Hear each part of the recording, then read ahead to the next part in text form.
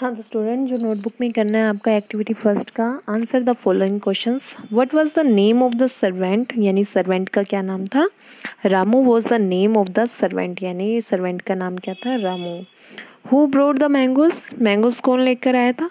Master brought the mangoes यानी who की जगह हमें ओनली क्या लिखना है? मास्टर बाकी क्वेश्चन वाली लाइन आ गई है ब्रोड द मैंगोज वैसे क्वेश्चन नंबर फ़र्स्ट में था वट की जगह हमें क्या लिखना था? Ramu was the name of the servant next question है where did the rich man live rich man कहाँ रहता था?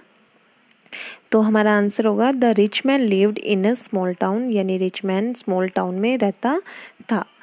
What idea came to Ramu's mind यानी रामू के माइंड में क्या आइडिया आया था? उसने क्या किया था? ही मिसगाइड हिज मास्टर उसने मिसगाइड कर दिया था, यानी गलत मार्गदर्शक कर दिया था। किसका? हिज मास्टर अपने मास्टर का एंड मास्टर्स फ्रेंड और मास्टर के फ्रेंड का। केम टू रामूज माइंड ये आइडिया रामू के माइंड में आया था कि वह क्या करेगा? मिस गाइड करेगा किसको? मास्टर को और मास्टर के फ्रेंड को। नेक्स्ट क्वेश्चन है आपका।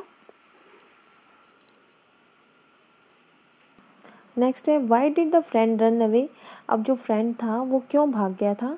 बिकॉज़ ही वॉज़ फ्राइटन क्योंकि वह डर गया था, उसे लग रहा था जैसे वो मास्टर उसके कान को काट लेगा, इसलिए वह भाग गया था। How many mangoes did the master bring in the end यानी कितने मैंगोज मास्टर एंड में लेके आया था? कितने लेके आया था? टू मैंगोज कितने लाया था? दो मैंगोज लेकर आया था। तो स्टूडेंट्स आज पार्ट फ़र्स्ट में ओनली आपको क्या करना है? ग्लोसरी करनी है आपकी वर्ड मीनिंग्स और इस चैप्टर को अच्छी तरीके से रीड करना है लाइन टू लाइन और इसके ग्लोसरी करने के बाद आपको क्वेश्चन आंसर करने हैं। नेक्स्ट अपने नेक्स्ट जब क्लास लेंगे, तब आपको इसकी बुक की एक्टिविटी करवाई जाएगी। Okay students thanks for watching this video have a good day